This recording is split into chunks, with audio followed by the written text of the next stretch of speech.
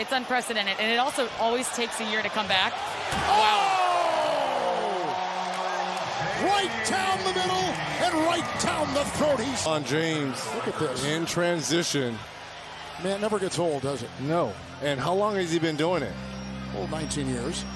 Under a minute to go. The bounce. The extra. Oh, what a play! 5% in the second quarter, including this major highlight. But they trail the defending champions at the break. The NBA on TNT. Carter got a piece. The cut and slam. This is patience here. Doesn't see anything right away. Stays under control and finds Connaughton on the cut.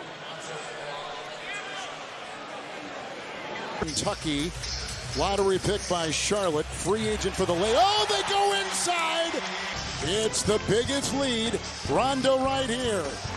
And Davis in mid-flight with the flush for the Lakers. Can't hit the three. Rebound, Connaughton. Oh, touchdown pass! Middleton to Antetokounmpo. Pass. Giannis catches it right in stride and goes in for the dunk and one. Hot start for the Bucks.